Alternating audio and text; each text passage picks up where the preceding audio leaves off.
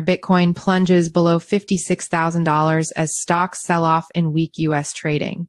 Crypto markets have made a habit over the past few weeks of declining as U.S. traditional markets open, underscoring a general risk-off sentiment among American investors.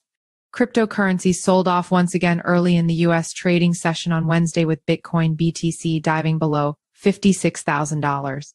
BTC climbed during the Asian and European trading hours from a low of $56,000 after last night's U.S. presidential debate between Kamala Harris and Donald Trump, briefly topping $57,000 following the U.S. CPI inflation report.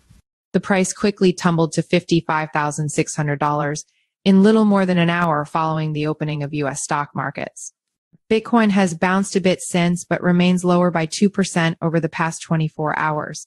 The broad market crypto benchmark Coindesk 20 index also fell over 2% during the same period, with altcoin majors Solana Sol, Avalanche AVAX, and artificial intelligence focused tokens near near and render RNDR sliding 4%, 7%.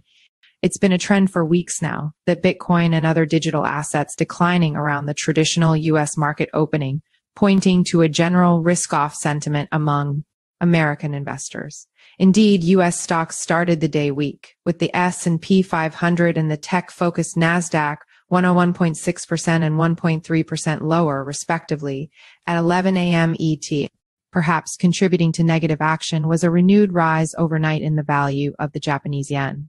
At 141 to the US dollar, the yen today now stands higher than it was in early August when its sharp rise forced a quick reversal of yen carry trades, apparently a major cause of a panicky mini crash in traditional and crypto markets.